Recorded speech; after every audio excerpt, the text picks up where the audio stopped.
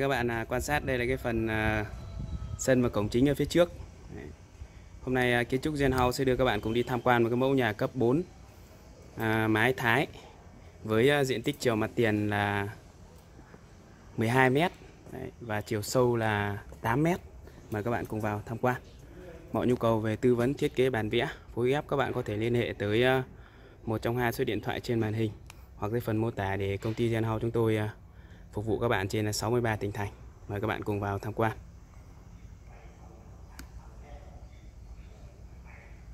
Phòng nữa bạn. Đây là cái phần à, mặt tiền chính ở phía trước đây. Cái hệ hiên này thì được làm à, thiết kế rất là rộng. Đấy, và hệ mái chữ A, hai mái chữ A chồng lên nhau. Đấy. Và hệ bậc là có à, 5 bậc đi lên. Đấy. Hệ cột thì được cắt những cái đường chỉ lõm tạo điểm nhấn. Sơn màu chủ đạo là màu xanh. Đây, như các bạn quan sát.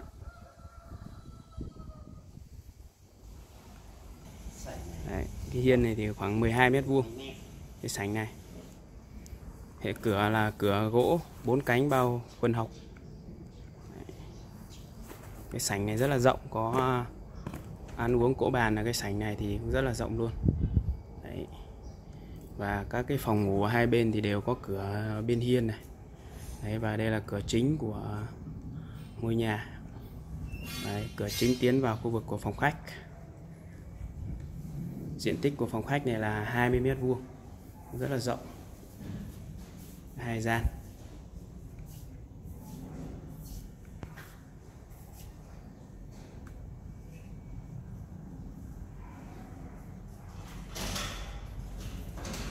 Đây, đây là diện tích của phòng khách đây.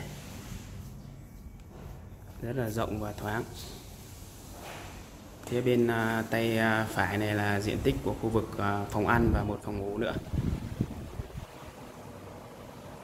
Đây. phòng ngủ thì ở phía bên tay phải đây. Đây là khu vực của phòng ăn và khu vực phòng bếp và vệ sinh.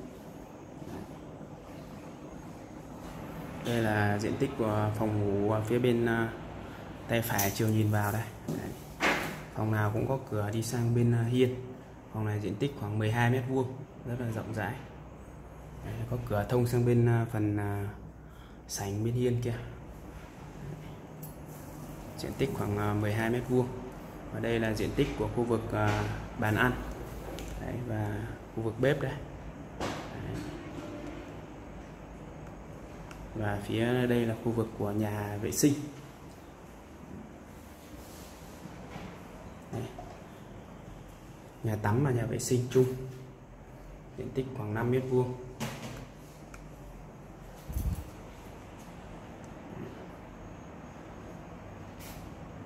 Không gian rất là rộng và thoáng.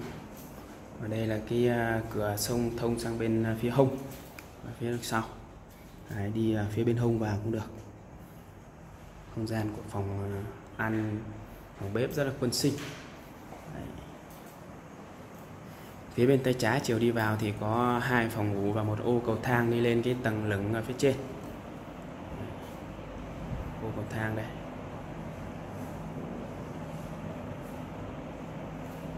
Đấy, và lên cái à, phía bên tay trái này là một cái phòng ngủ bên trên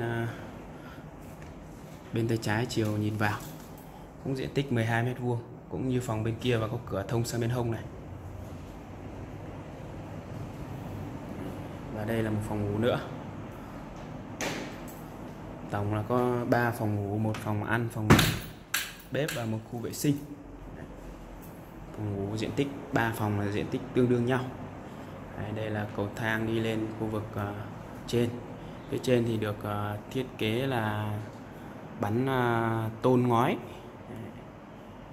Cầu thang này để lên khu vực phía trên này là để à, chứa đồ ở phía trên.